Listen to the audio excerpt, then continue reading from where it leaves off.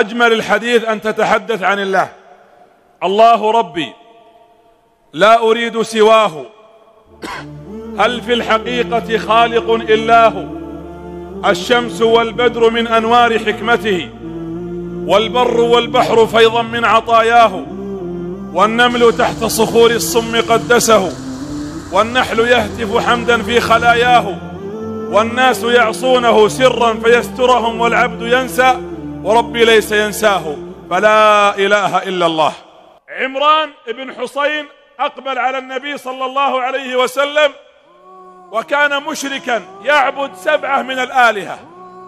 فقال له النبي يا عمران كم لك من آلهة؟ قال لي سبعة. قال أين هم؟ قال ستة في الأرض وواحد في السماء. قال من لرغبك ورهبك؟ إذا ضاقت عليك الدنيا ضاقت عليك الضوائق تلجأ إلى من؟ قال ألجأ إلى الذي في السماء. قال إذا صلى الله عليه وسلم أعبد الذي في السماء واترك التي في الأرض. أبسألكم سؤال وجاوبوا بصراحة. سأتحدث مع نفسي وإياكم ببساطة لأننا عرب ومسلمين وأبناء فطرة. ولا نحتاج إلى تعقيد الكلمات والتفيقه والتفيصح الذي ربما لا نحتاجه. حنا جايين الليلة نريد أن نشحن قلوبنا إيمانا وحبا بالذي خلقنا وهو الله جل في علاه.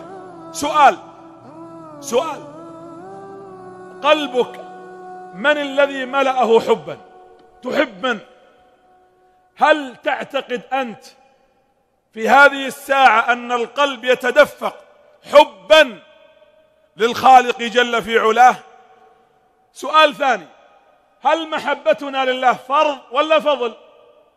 يعني فرض علينا نحب الخالق أو فضل منا نحبه؟ فرض أنا وأنت مخلوقين عبيد حبنا له فريضة.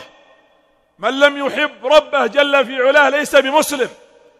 ولذلك حب الله تبارك وتعالى كلنا يدعيه وكل يدعي وصلا بليلى وليلى لا تقر لهم بذلك.